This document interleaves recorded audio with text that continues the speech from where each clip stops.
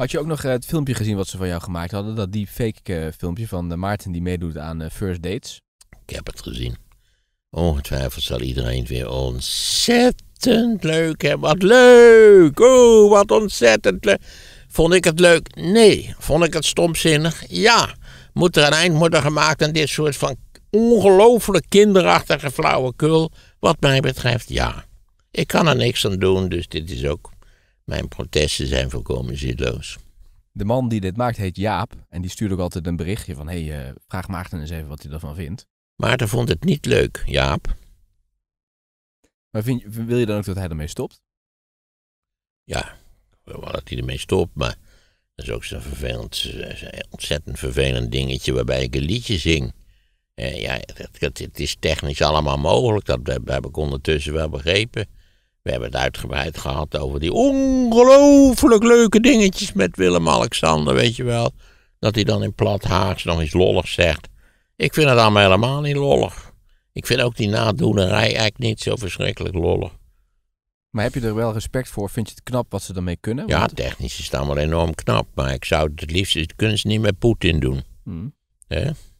Die kan ook niks terug doen in dit geval dan. Maar het leek net of je aan die tafel zat in dat restaurant. Nou, dat is, het is maar net. Ten eerste zat ik, zit je nooit op die manier aan een tafel. En, nou ja, goed, ik, ik, ik, ik, ik, ik vind al die lolligheden op het internet. Het is allemaal wel een onbeschrijfelijke kinderachtigheid.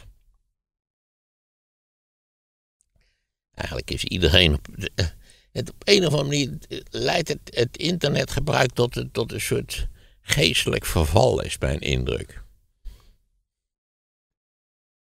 Er zijn ook mensen die zeggen het is gevaarlijk. Want er zijn mensen die geloven dat je echt daar zit. Ja, dat zal er best wel, ja, ongetwijfeld. Ik weet wel, ik ben door allerlei mensen nagedaan in de loop der jaren. En ook goede kennissen. Die zeiden gewoon, je werd zo leuk nagedaan door Pietje Puk daar en daar. En dan keek ik even en dacht ik, hoe is het nou toch mogelijk? Dan hebben ze wel een heel raar beeld van mij. Er klopt er nooit iets van. Het woordgebruik klopte niet, de zinsconstructie klopte niet, de kleding klopte niet. Hoe vaak heb ik al niet gezegd, ik hou helemaal niet van kooltruien, kleren dingen. Ja, heb ik nu een das om om de boel een beetje warm te houden? Ja, maar goed, ik hou niet van, tol, van kooltrui. En alsof ze het...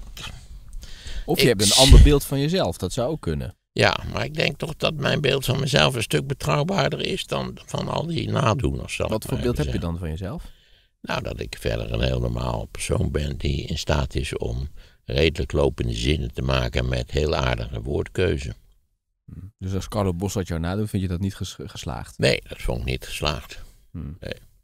Ik heb wel eens iemand, een, een imitator, die deed Jan Wolkers na. En die had Jan zijn stem helemaal geanalyseerd. Hè, want je kunt dat natuurlijk vertonen op een schermpje, zijn stem op. Hè. En ik moet zeggen, dat dacht ik, nou, heeft er in ieder geval heeft hij er werk van gemaakt. En hij deed het heel aardig, hoewel, als, die, als ik me om had gedraaid, dan had ik voor, geen meter gedacht dat Jan het was. Ja.